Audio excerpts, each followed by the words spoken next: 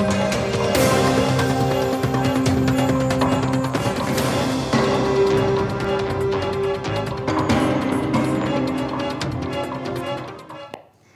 درود به تمام شما بیننده های عزیز. بگاهتان بخیر مجلس صبحگاهی است. من مریم خراسانی در این برنامه با شما هستم و دوست دارم شما نیز در برنامه با ما باشین و اشتراک کنین. دیدگاه ها و پرسش هایتان در رابطه با موضوعی که امروز انتخاب کرده با ما و مهمان برنامه ما شریک بسازین.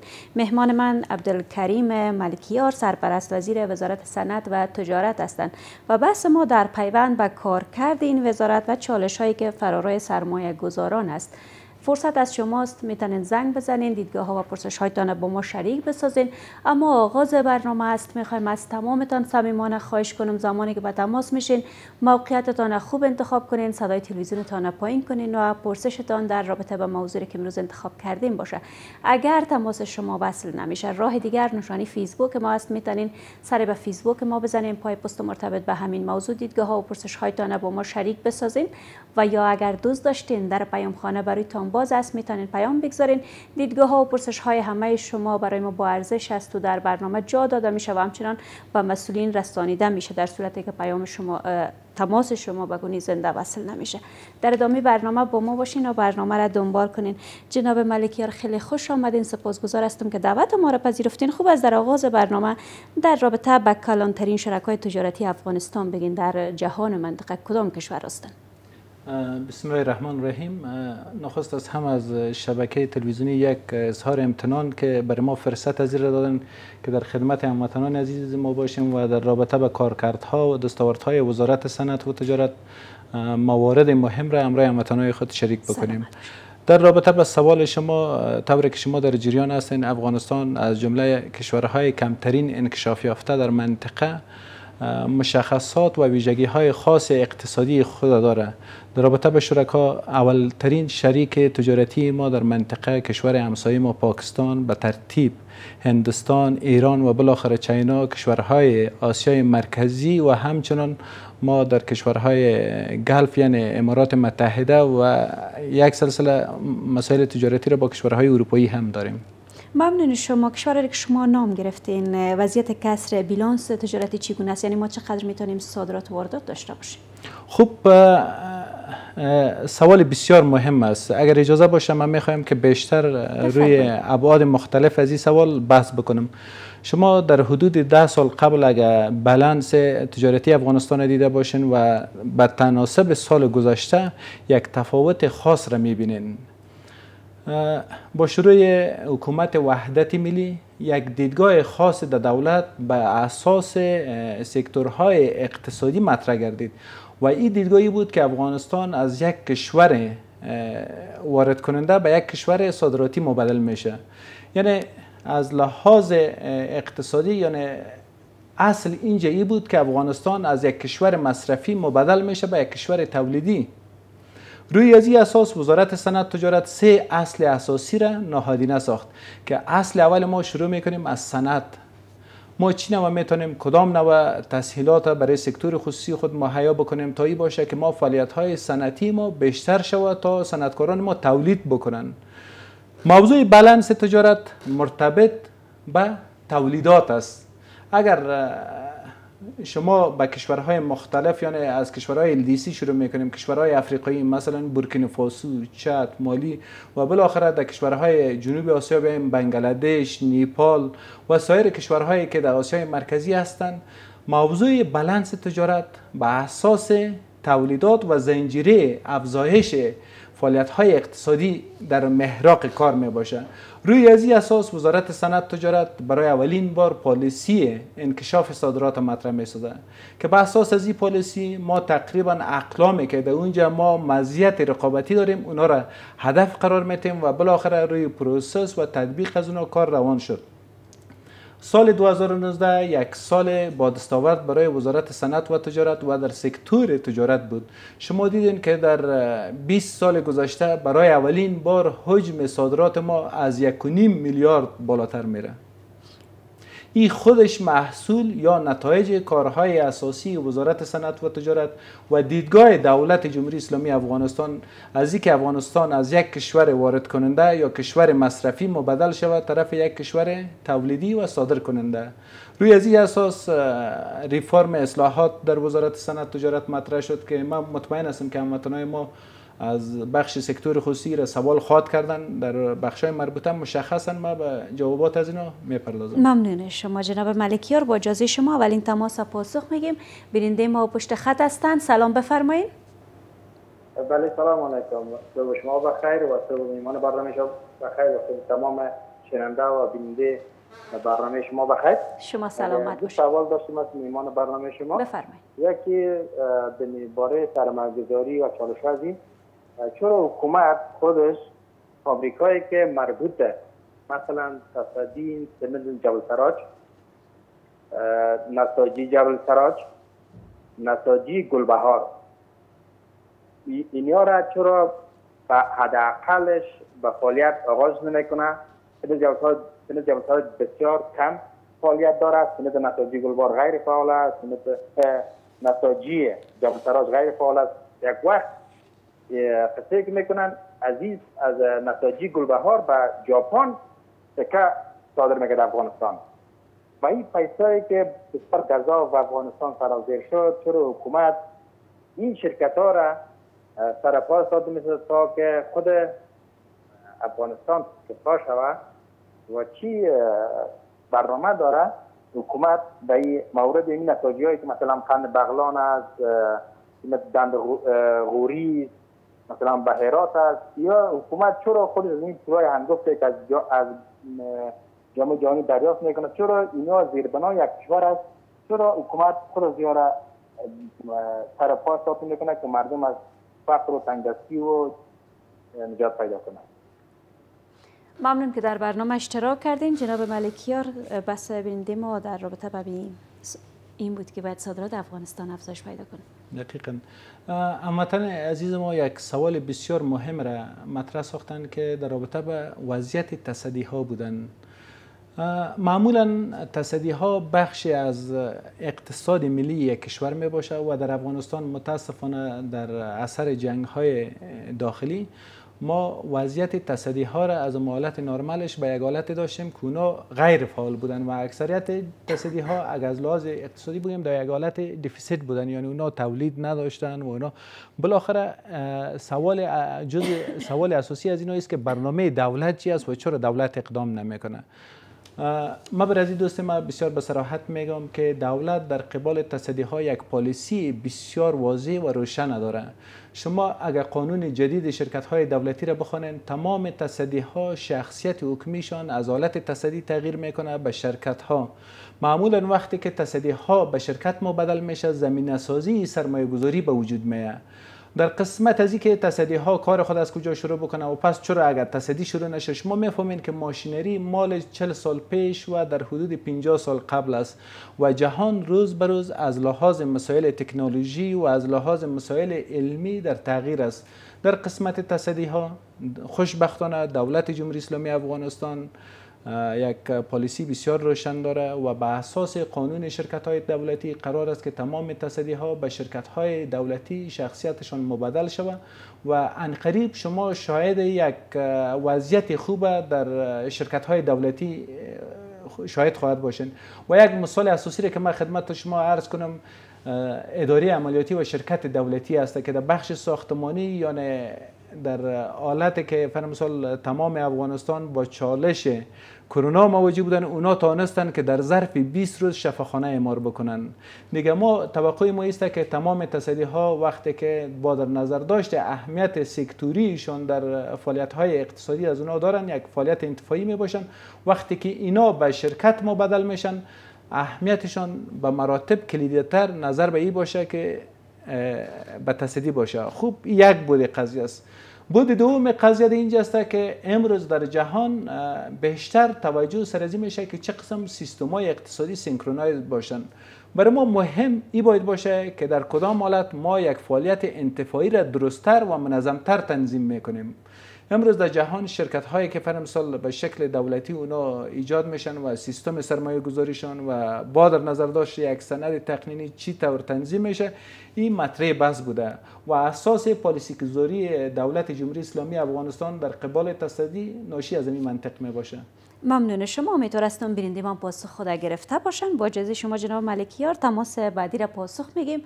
ببینیم بیننده ما از کجا به تماس شدن و سوالشان چیست. بفرمایید.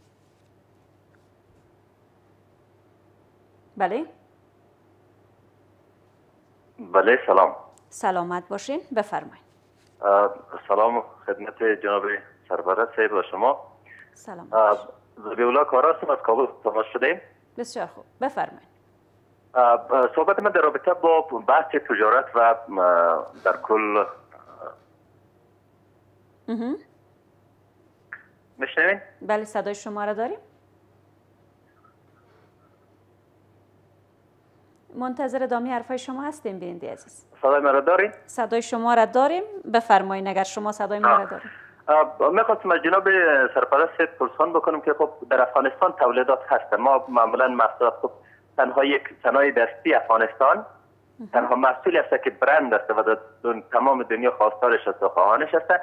اگر ما یک صنایع دستی در افغانستان انکشاف داده بتانیم و حتی یک قالین ما امروز به نام پاکستان ایران کجا کجا صادر میشه و نحوه تجارت ما به شکل تجارت سنتی است. و ما وارد تجارت الکترونیک در افغانستان کمپانی فعلا یک تا کمپانی وجود داره که در بخش تجارت الکترونیک با معیارهای جهانی فعالیت می‌کنه. اما حمایه دولت در قسمت چی می باشه که ما بتونیم که سیستم تغییر بدیم. تا زمانی که اگر ما به سیستم تجارت های سنتی در افغانستان فعالیت بکنیم یعنی کاراییش کمتر است. مثلا کمپانی آمازون کمپانی که مثلا کمپانی چیز آقای جک ما اینا هم کل کمپانی که در بخش تجارت های الکترونیک فعالیت می‌کنه اول ما بتونیم سیستم خود تغییر بدیم. چه نقش داره؟ و حمایه از که ما بتونیم که نماینده ای کمپانی های افغانستان در بیرون از کشور فعالیت بکنیم به سیستم خانه نشون حمایتی دولت باید داشته باشیم. و در قسمت تولید صنایع دستی خصوصا تجارت که ما شخصا خودم کار می‌کنیم روی که ما روی صنایع دستی افغانستان کار می‌کنیم. قالین گلیم نمد مثلا حالات موسیقی هنر گرافیک. از یک طرف اشتغال زایی به بار می از طرف دیگه ما می‌تونیم اینا را چون صنایع دستی هویت ملی کشور است ما اینا رو می‌تونیم که بیشتر به فروش برسانیم و در قسمت بازاریابی ما مشکل داریم. اینا باید یک فرصت بازاریابی نه که ما نمی‌تونیم ما می‌تونیم. در صورت که نیست فرصت فراهم شود که ما بتونیم یک راه برای ما باز شود که ما بتونیم در کشورهای بیرونی راه پیدا بکنیم و در قسمت بازاریابی محصولات ما خیلی از محصولات ما برند داریم. مثلا در کل خیلی محصولات نابی هم داریم. اینا نیاز به بازاریابی داره و نیاز به ارزش گذاری داره. تنها تولید کافی نیست. ما باید بازاریابی بکنیم به ارزش و اهمیتش نشان بدیم. به این صورت ما می‌تونیم هم فروش بیشتر داشته باشیم و هم تولید بیشتر داشته باشیم. راهکار دقیق حکومت در قسمت چی می باشه و حمایتشان. خصوصا برای که ما اگر بتونیم نماینده کمپانی خود بیرون از کشور کال کرده بتونیم و تجارت در کل به شکل تجارت الکترونیکی بسازیم تشکر از شما که در برنامه اشتراک کردین. جناب ملکی یار حرفای بیننده ما رو شنیدین. پاسخ شما رو داشته باشیم. واقعا که دوست ما سوالات جالب رو مطرح کردن. من می‌خوایم که اگر برنامه در ظرفیت برنامه ما باشه که یک ذره وقت بیشتر برنامه داشته من می‌خوایم که تشریح بکنیم. اینا دو دو سه موضوع عمده مطرح ساختن. موضوع صنعت مطرح ساختن و بالاخره رفتن در تجارت و در آخر از marketing شروع کردن. من می‌خوایم که در سه بخش بر از اینا یک سلسله معلومات بدم. اول خود دیدی از اینا در قسمت صنعت اونا فکر کردن که صنعت صرف به صنایع دستی محدود است. در حالی که صنعت ما از امو تصویر کلی ما از صنعت تمام فعالیت های تولیدی را صنعت میگیم. افغانستان نه تنها در صنایع دستی بلکه در صنایع ثقیله هم فعلا خوشبختانه جایگاه خاص خود داره. شما شاید هستین که ما در قسمت ذوب آهن یا صنعت آهن فعلا می‌تونیم که در منطقه با با محصولات کشورهای دیگر رقابت بکنیم. با در نظر داشته معیارها و هایی که در این زمینه موجود است. و همچنان در قسمت نوشابجات غیر الکلی ما صادرات داریم به کشورهای اروپا حتی کانادا آسیای مرکزی یعنی افغانستان جایگاه خود داره. در قسمت صنایع در هفت سال گذشته کارهای اساسی را دولت انجام دادن و در قسمت صنایع ما گفته می‌تونیم که ما به یک طرف بسیار روشن روان هستیم. پالیسی های مشخصی که وزارت صنعت تجارت در قسمت صنایع دارن اول ما شروع کردیم از خود پارک های صنعتی. ما در مجموع در افغانستان در حدود 15 16 پارک صنعتی داریم که 8 پارک صنعتی ما در حال فعال می باشه و تقریبا در حدود 540 میلیون افغانی ما امسال برای زیربنا و ساخت و ساز پارک های صنعتی بودجه داریم که امیدوار هستم که با ختم سال مالی ما شاهد یک تغییر دیگه هم در وضعیت صنایع خود باشیم. موضوع دوم را که هموطن عزیز ما اشاره برشان کردن در قسمت تجارت هستند چیزی را که گفتن تجارت الکترونیکی و تجارت دستبندی کردن از لحاظ میارات بین المللی تجارت در سه بخش تقسیم میشه. اول ما تجارت اجناس داریم. معمولا شما می‌بینید که یک جنس از یک مملکت به دیگه مملکت میره و بالاخره اونجا یک سلسله میارات می‌باشه که اونا باید طرفه بتن تکس بتن. بالاخره اینا ما میگیم تجارت در اموال. بخش مهم تجارت جز دوم تجارت که می باشه امروز بسیار مطرح بس است تجارت در خدمات است.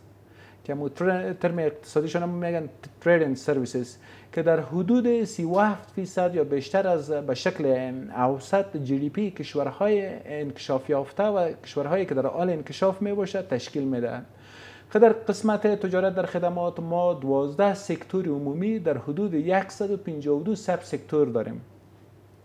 تجارت الکترونیکی یکی از اجزای تجارت در خدمات است. و بعد سوم تجارت ما تجارت مالکیت های فکری است intellectual property. یک کسی شیر میسره بالاخره اونا رو به یک هنرمند میتن بالاخره او حق تعلیف است و دیگه به می ترتیب موضوع ترید مارک است حق مخترع است. اینی موارد هم در تجارت جایگاه خود داره. یعنی ما از لحاظ میاری تجارت تقسیم می‌کنیم به یک است. تجارت در اموال تجارت در خدمات و تجارت در مالکیت های فکری.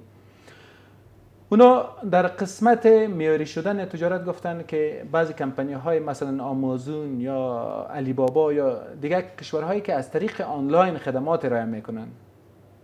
اینا من فکر می‌کنم که به یک زیربنای اساسی نیاز دارن.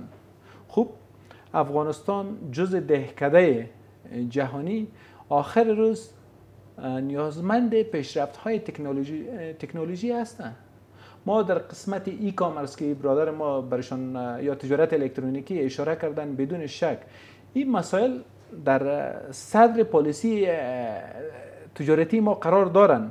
ولی در این زمینه ضروری است که اول ما امو پلتفرم یا زیربنای از داشته باشیم. خوب چقدر ما در ولایات می‌تونیم که اینترنت تامین کنیم مسائلی که فر مثال به او ارتباط امو ظرفیت ها ایجاد شود. من فکر می‌کنم در این رابطه ما نیازمند یک سلسله اقدامات هستیم که فر مثال در این سلسله باز زنجیره خود نهادهای مربوطه هم مطرح بس است. به طور مثال جایگاه وزارت محترم مخابرات وزارت مالیه بانک بالاخره تا که این اپلیکیشن به شکل منظمش ترتیب میشه و بالاخره هموطنان عزیز ما یا سکتور خصوصی ما از این طریق هم ارائه خدمات بکنن. دیگه ما امیدوار هستم که این قسمت پاسخی که قناعت هموطن ما را داشته باشه ارائه کرده باشه ممنون شما جناب ملکی. ها امیدوار هستم بیننده ما پاسخ خود گرفته باشن. بیننده دیگر ما پشت خط هستن. سلام بفرمایید. صدای تلویزیونتان بلند السلام علیکم. سلامت باشین.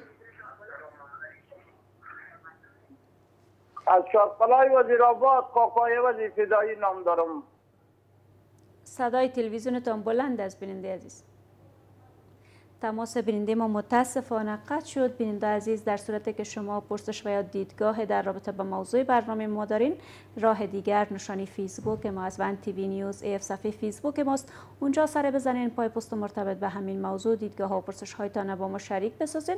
اما بازم خواهش می‌کنم اگر تماستان در برنامه به گونی زنده وصل میشه صدای تلویزیونتان پایین کنین موقعیتتان خوب انتخاب کنین و پرسشتان در رابطه با موضوع برنامه باشه. بیننده دیگر ما پشت خط هستند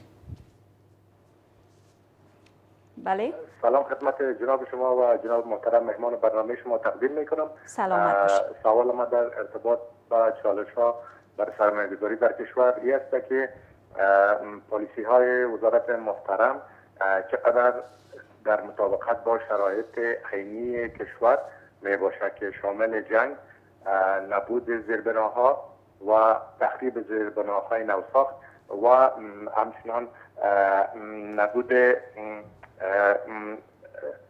امنیت می باشه و فرار سرمایه و همچنان لطفا جناب وزیر در قسمت مدل اقتصادی کشور و چالش های در قسمت سرمایه گذاری در کشور ایجاد کرده. هم صحبت بکنند که سیستم مارکت تقریبا در کشور ما شما و فری مارکت تبدیل شده. آیا بهتر نیست؟ تا یک مدت یک مداخله بسیار معقول و یک رقابت بسیار معقول دولت با سکتور خصوصی داشته باشه تا آماده رقابت داخلی شویم و بعدا به شکل منطقوی و جهانی می‌تونیم پیش بریم. بسیار زیاد تشکر ممنون که در برنامه اشتراک کردین. جناب ملکیار بفرمایید.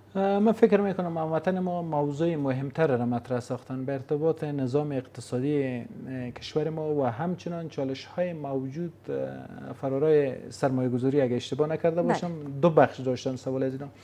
اول در قسمت نظام اقتصادی قانون اساسی افغانستان بسیار صریحا اونا اقتصاد market تسجیل است که اقتصاد market یک تجربه کامیاب در جهان است. شما اگر ببینین سنگاپور و سایر کشورهایی که فرض مثال از حالت اقتصاد پلان شده انتقال یافتن به اقتصاد market اونا شاهد پیشرفت ها و بالاخره یک وضعیت اقتصادی خوب را شاهد هستند با ارتباط از این موضوع به اساس practice هایی که در جهان معمول بود افغانستان هم در سال 2001 اه، عملا در قانون اساسی کشور ما اقتصاد مارکت را تسجیل نمودند که روی از این موضوع وزارتخانه ها و ادارات که در راستای سکتوری کار می‌کنند تمام پالیسی ها و قوانین خود را به ارتباط نظام اجست کردند. یعنی موضوع اساسی است که ما چقدر می‌تونیم که خود اپلیکیشن یا برنامه اقتصادی را تطبیق بکنیم.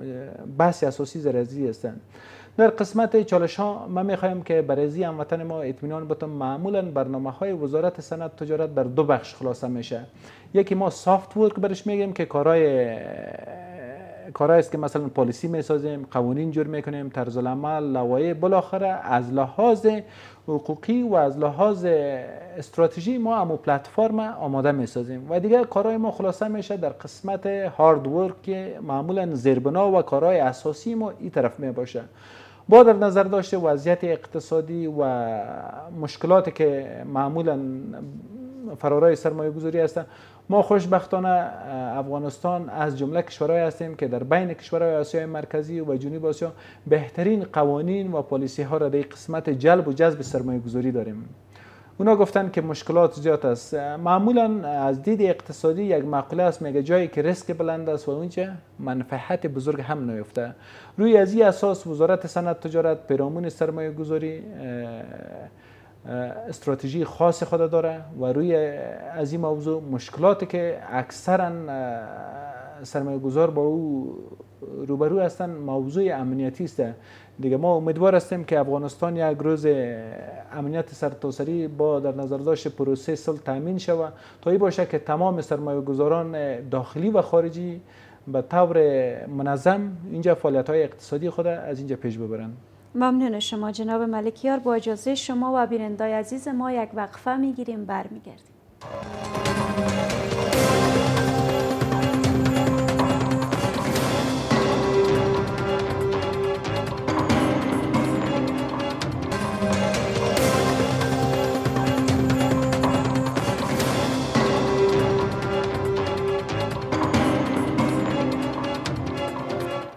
ادامه برنامه مجله صبح است. تشکر می‌کنم که با ما هستین و برنامه را دنبال می‌کنین. مهمان من عبدالکریم ملکیار سرپرست وزیر وزارت صنعت و تجارت هستند.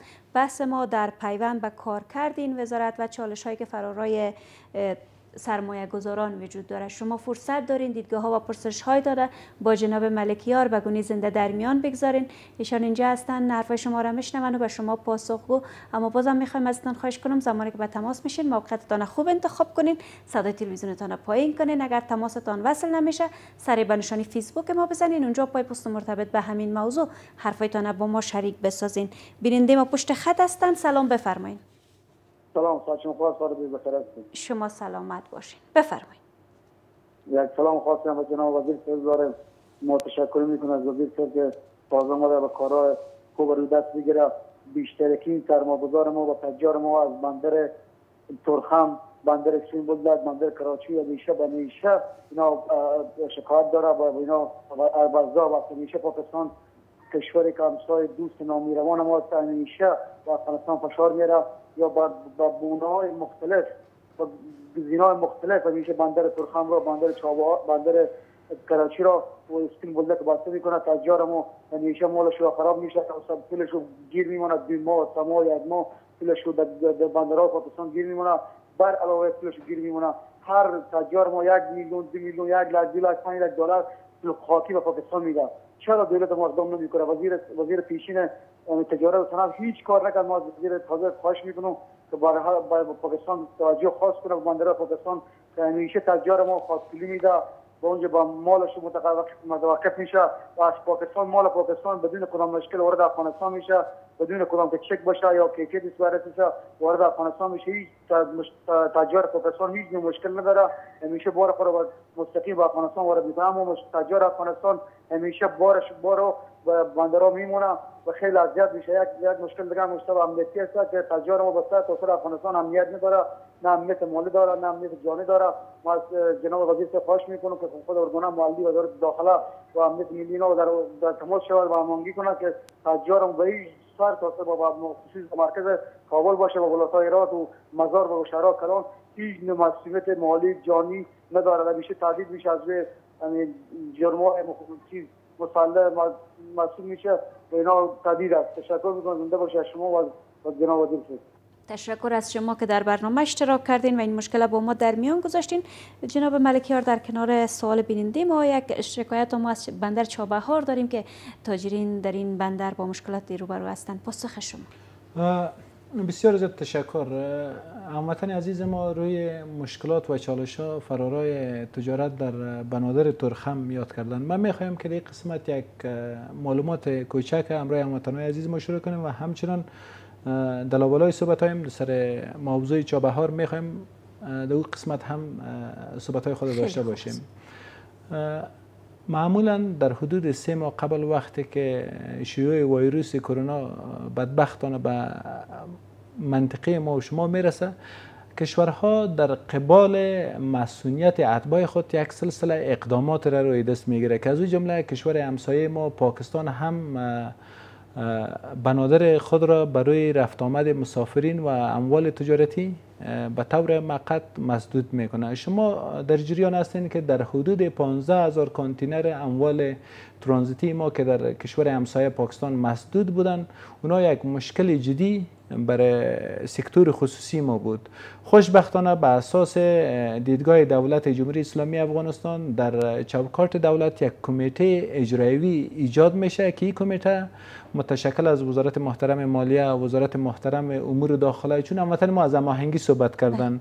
وزارت ترانسپورت و در رأس کمیته وزارت صنعت تجارت قرار می داشته باشه. به اساس تفاهم های دو جانبه که ما از channel های دیپلماتیک با کشور همسایه ما پاکستان داشتیم ما به این نایل شدیم که یک مکانیزم در قبال اموال تجارتی و ترانزیتی با کشور همسایه ما پاکستان داشته باشیم. خوشبختانه که در این قسمت ما یک دستاورد عظیمی را شاهد هستیم.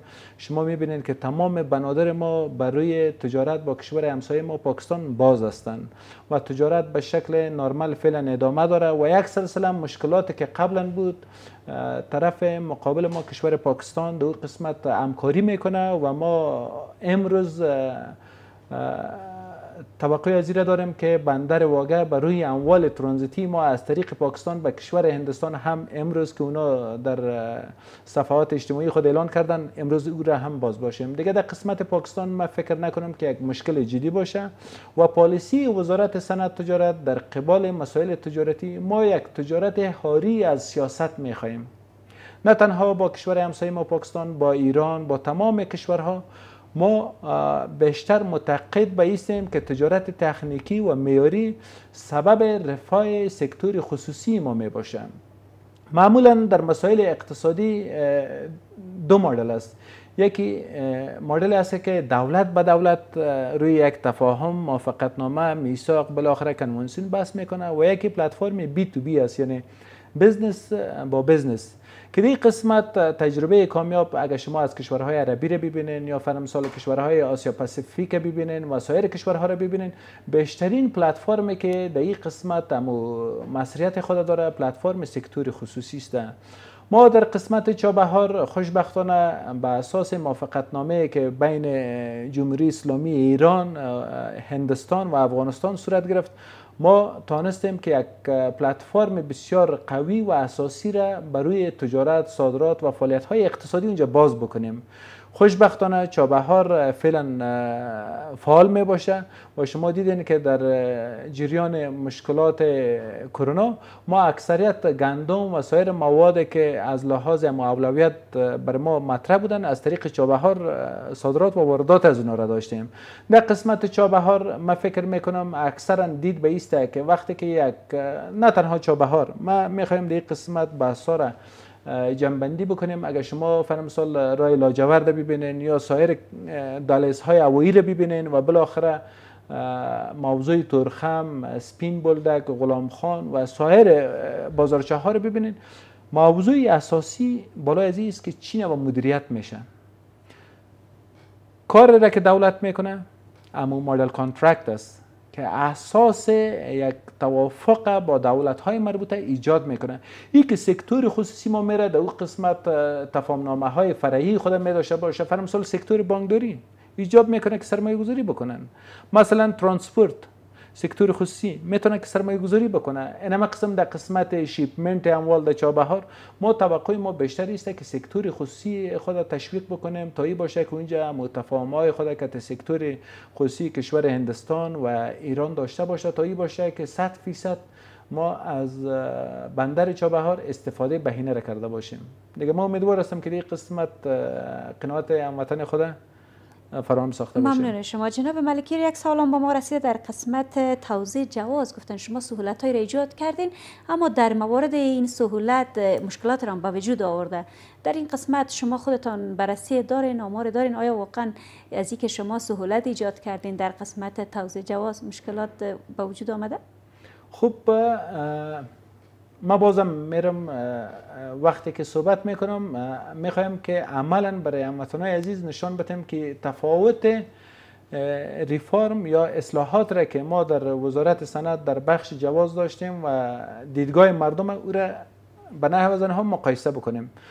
شما در حدود هفت یا هشت سال قبل اگر می رفتین یک جواز می گرفتین که یک شفاخانه جور بکنین یا یک کمپانی جور بکنین یا فرمسال در بخش سکتورهای مختلف سرمایه گذاری بکنین این پروسه نیازمند یک یک یک بروکراسی بسیار طویل بود. یک بار می‌رفتین به وزارت صنعت باز اونجا می‌رفتین به وزارت محترم امور داخله به خاطر security check یا می‌رفتین به شاروالی و بالاخره به وزارت مالیه به خاطر مسائل tax گپاش این پروسه یا موارد ما داریم که در حدود بیشتر از سه ماه در بر گرفته. ما معمولا در سال 2007 با یکی از کمپانی های انگلیسی در بخش یک research کار می‌کردم. ما موارد را پیدا کردیم که در حدود نو ماه یک کسی می‌خواست که شفاخانه جور بکنه. او اسناد خود طی مراحلش وقت گرفته بودن. ریفارمی را که ما آوردیم در مطابقت با شاخص های بانک جهانی بوده. یعنی یک ریفرم معیاری بوده. این ریفرمی را که ما در وزارت صنعت تجارت آوردیم مدل ریفرمی است که در سنگاپور بوده مدل ریفرمی است که در آذربایجان بوده مدل ریفرمی است که در در جورجیا بوده. پروسه اخذ جواز حالی از سه ساعت شروع میشه و حتی در نیم ساعت هم ما جواز میتیم. مکمل سیستم دیجیتال شده. قبلا طوری بودن که فرض مثال data اونجا به شکل analog بود. یا فرض مثال قسمت شفافیت از اونو بیشتر روی بود. یک نفر می‌تونست که به نام های مختلف جوازهای متعدد داشته باشه. حال سیستم biometric است. آل او فرصت هایی که فرم سال برای فعالیت های غیر قانونی مهیا بود اونا کاملا جلوگیری شده. و به اساس سیستمی که ما فعلا داریم مرکز واحد خدمات زیر یک چتر که وان استاپ شاپ برشون میگه او را هم ما ایجاد کردیم که تقریبا در حدود 19 اداره نمایندگیشان در ثبت مرکزی که یکی از ریاست های وزارت صنعت تجارت می باشه اینجا جواز توزیع میشه. فرض مثال اگر شما برین به اداره مراجعه بکنین یکی از سکتورها کار شما در یک اداره خلاص میشه. tax مالیه بانک کلگیش در یک مقطع می باشه دیگه ما اصلا چالش در اون قسمت نمی‌بینیم. و موضوع اساسی است که اونجا یک شفافیت مطرح شد و بالاخره ما در قسمت شرکت های انتفاعی یک data ی منظم فعلا generate می‌کنیم و به اساس قانون شرکت های محدود المسئولیت و سایر اسناد تقنینی خدمات به شکل معیاری اونجا ارائه میشه. ممنون. شما جناب ملکیار سوال دیگری هم که به ما رسیده در قسمت این است که گفتن در وسط سال شش ماه بعد یا یک سال بعد ما شاهد دو آمار می باشیم یکی از سوی وزارت تجارت و صنعت و یکی از مسئول سوی مرکزی. می‌خوایم پاسخ شما رو داشته باشم. واقعا تناقض وجود داره. یک سوال بسیار جالب است. این سوال هم من می‌خوایم که بیشتر روی از تجربه کنم. معمولا ارقام یا احصایه چیزی است که برای کسایی که در بخش پالیسی هستند اونا بیشتر از این استفاده بهینه را کرده می‌تونن. وزارت صنعت تجارت هیچ وقت ارقام جنریت نمی‌کنن. شما می‌فهمین معمولا ما سه مرجع داریم که ارقام تجارتی را از اونا ما می‌تونیم که اخذ کنیم. اول اداره محترم احصایه مرکزی هستند که اونا به اساس امو شاخص ها و معیارهای خود روی از این پروسه اونا در mandate کاریشان فعالیت می‌کنن و در آخر هر سال مطابق امو scope کاریشان data را به ادارات مربوطه و هموطنان از ما قرار میده. data ی تجارتی مرجع دومشان گمرکات است.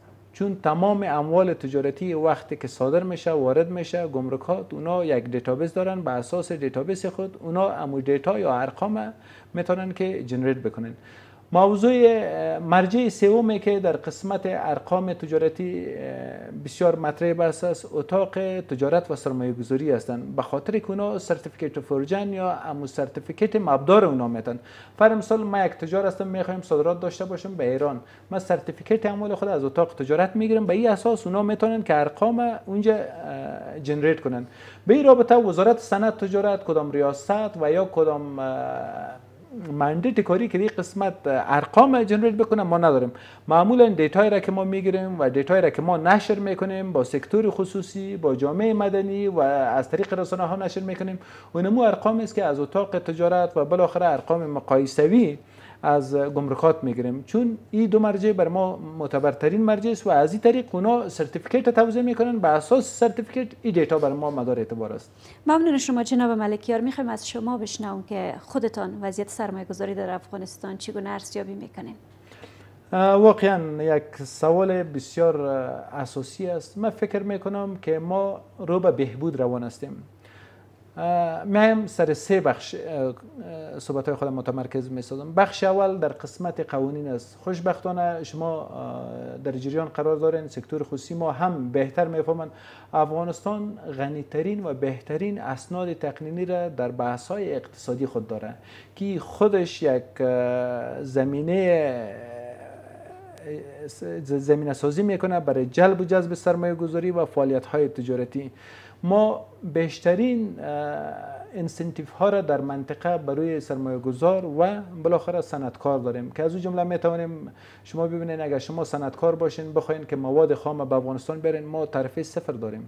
اگر شما بخواین که ماشینری رو به افغانستان بیارین ما بر از اونها ترجیحات داریم. و در قسمت در قسمت توزیع زمین ما بسیار ترجیحات خاص برای صنعتکاران داریم. و همچنان در بخش پالیسی یک بحث اساسی را که من می‌خوایم که از دیدگاه دولت مطرح بکنم. تمام ادارات سکتوری به شمول وزارت صنعت و تجارت اونا وسیله هستند برای دولت جمهوری اسلامی افغانستان هدف نیستند هدف برای دولت جمهوری اسلامی افغانستان یعنی پالیسی های دولت جمهوری اسلامی افغانستان هدف سکتور خصوصی است.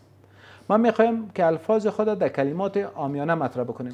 اگر سوالی مطرح شود که فلسفه موجودیت وزارت صنعت و تجارت ناشی از کدام منطق است؟ جواب که ما از دید وزارت صنعت تجارت ما صنعتکار نیستیم. ما سرمایه گذار هم نیستیم و ما تجار هم نیستیم. بدون شک ما مکلف به ارائه خدمات و تنظیم کننده سکتور خصوصی هستیم. سوال پس ربط میتم به حرفای اول ما. یعنی ای که ما در قسمت مسائل سکتور خصوصی بر ما هدف هستند. ما یک وسیله هستیم که بالاخره در جهت تحقق هدف مسئولیت های کلیدی خود پیش می‌بریم. و در قسمت زیربنا کارهای کلیدی صورت گرفت. شما شاهد هستین که در این اواخر پالیسی زیربنای بنادر تجارتی افغانستان در شورای علی اقتصادی مورد بحث قرار گرفتن که به این اساس ما انقریب کار زیربنای بنادر سرش کار می‌کنیم و به این اساس ما افغانستان تقریبا در حدود یک یا دو سال شاهد بنادر میاری خود باشیم که سکتور خصوصی اونجا می‌تونه که جایگاه خاص خود داشته باشه و از امتیازات میاری اونا مستفید شوند. ممنون شما. جناب ملکیار حتما به شما شکایت های می‌رسه بزرگترین چالشی که فرارای بازرگانان در افغانستان قرار داره چیست و رای حل چیست تا این مشکلات برداشته شود؟ سه موضوع عمده است. ما مشکلات عملا نمرایشان چون اکثرا ما وقتی که به وزارت صنعت تجارت هستم شعار ما است که ما خانه سکتور خصوصی هستیم. تفاوت ما با دیگه وزارت خانه طوری است که ما مستقیما با سکتور خصوصی مواجه هستیم و هر روز ما یک گروپی از سرمایه گذارا را از تاجرا را از بخش قندهار، هلمند، زابل، هرات همواره ما با سکتور خصوصی بسیار از نزدیک کار می‌کنیم و یک جای افتخار هم است که ما در مشکلات از اونا در صدد حل راههایی که بدیل برای از باشه تا ای باشه که اونا به نحو از انها بتونن فعالیت های خود منسجمتر انجام بتن ما مکلفیت داریم. و مشکلات ما در سه طبقه رسیدگی می‌کنیم. طبقه اولی است کوتاه مدت که ما عاجلا سر زو اقدام می‌کنیم با ادارات اماهنگی ادارات مربوطه. اگر یک موضوع امنیتی با وزارت محترم امور داخله اگر یک موضوع در قسمت مسائل ترفوی و موانع که مربوط میشه بیشتر به تادیه مالیات او را از مرجع قانونیش با نهادهای مربوطه مطرح می‌سازیم و در قسمت او موارد مشکلاتی که نیاز داشته باشه به یک پالیسی به یک سند تقنینی به یک طرز عمل او را ما در میان مدت ارزیابی می‌کنیم. و در قسمت زیربنا معمول است. شما می‌فهمین که اونا پروژه های هستند که باید در طویل مدت روی کار گرفته شود و اون مشکلات بسیار بزرگ است که بدون شک در اموسکوپ پالیسی های ما هستند. سر از به همین مندت کاری ما است که در سه بخش سر از ما فوکس می‌کنیم. ممنون شما جناب ملکیار. آخرین لحظات برنامه است. کوتاه می‌خوایم پاسخ شما را داشته باشم. یکی از بیننده ما که در قسمت بافت قالین کار می‌کردن زیاد شکایت داشتن و خواستن حتما سوالشان با شما مطرح بسازیم. در این قسمت شما چه کارهایی خواهید کرد؟ من فکر می‌کنم که در قسمت صنعت قالین یا بافت قالین این یکی از صنعت های دیرینه افغانستان است. اینا دو بود دارن یکی بود اقتصادی و یکی بود معنوی از اینا. بود اقتصادی از اینا بیشتر مسائل عزیز که اینا تولید میشه بالاخره پروسس میشه و صادر میشه. در قسمت تولیدشان ما بدون شک برای صنعتکارای قالین در پارک های صنعتی اونا جایگاه برش از اینا در نظر گرفته شدیم و در قسمت process ما sector خصوصی رو بیشتر تشویق کردیم که بیشترین سرمایه گذاری در داخل صورت بگیرن. فر مثال در قسمت قیچی و بعض موارد که اونا باید قالین process شود ننگرهار از لحاظ محیط یا آب هوا یک یک گزینه بسیار مثبت بود که اونجا شما عملا دیدین که سرمایه گذاری صورت گرفته و کار جریان داره.